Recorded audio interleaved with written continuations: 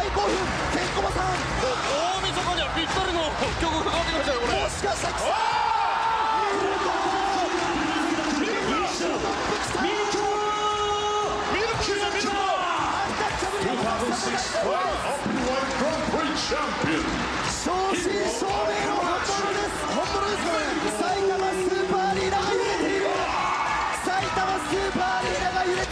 まさか埼玉でミルコが見れるとは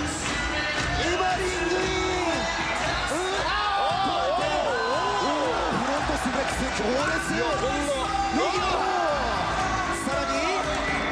おーキック。一戦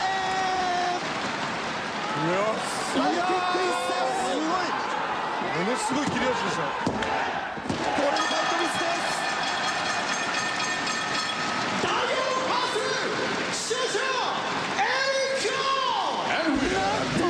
勝利したのはハッスルルですクロコップ本当にハッスルのリングに登場いたしました。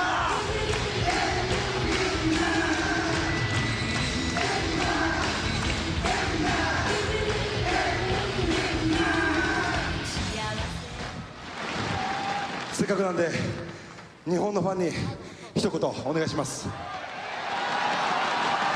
皆さん